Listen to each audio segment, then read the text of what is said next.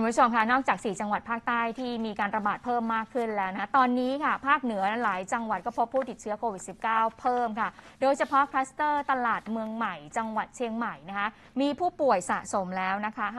587 คน แล้วก็มีอีก 7 คลัสเตอร์ย่อยที่มีความเชื่อมโยง กระจายอยู่ในพื้นที่อำเภอต่างๆ ค่ะ ตลาดเมืองใหม่ ตลาดเมืองสมุทร ตลาดสอทอเกาและพื้นที่ต่อเนื่องในอำเภอเมืองเชียงใหม่ ยังคงถูกสั่งปิด 14 วันตามคำสั่งของคณะกรรมการโรคติดต่อจังหวัดเชียงใหม่ และให้ผู้สัมผัสเสี่ยงสูงทุกคน ได้แก่พ่อค้าแม่ค้า และพนักงานในตลาดผู้ที่ไปจับจ่ายซื้อของ และผู้สัมผัสในครอบครัว ตั้งแต่วันที่ 9 ถึงวันที่ 12 ตุลาคม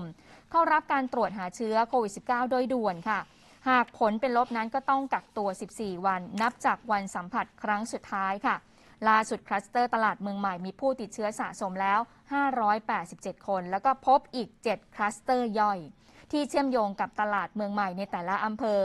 ได้แก่คลัสเตอร์บ้านขุนช่างเคียน คลัสเตอร์หมู่ 4ตำบลกองแขกอำเภอแม่แจ่ม คลัสเตอร์สบสันทราย คลัสเตอร์หมู่หนึ่งตำบลศพเปิง อำเภอแม่แตง คลัสเตอร์ชุมชนหลังวัดป่าเป้า ซอยอุ่นอารี ตำบลศรีภูมิคลัสเตอร์หมู่ 12 ตำบลเวียง อำเภอฝาง และคลัสเตอร์ตลาดเทศบาล ตำบลหางดง อำเภอหางดงค่ะ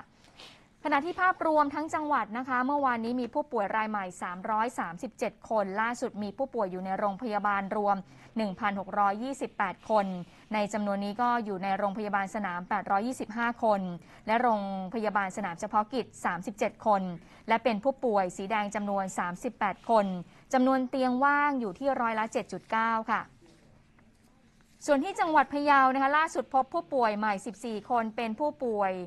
ติดเชื้อในพื้นที่จำนวน 9 คนค่ะ ในจำนวนนี้ก็เป็นผู้ป่วยผู้ป่วยคลัสเตอร์ใหม่ที่เดินทางไปสัมผัสกับผู้ป่วยในบ่อนไก่ ในพื้นที่บ้านเอื้อมอำเภองาว จังหวัดลำปาง ที่เหลือก็เป็นผู้ป่วยในพื้นที่อำเภอปง และอำเภอภูซาง ซึ่งก็เป็นครูและก็เด็กนักเรียนวัย 6 ปี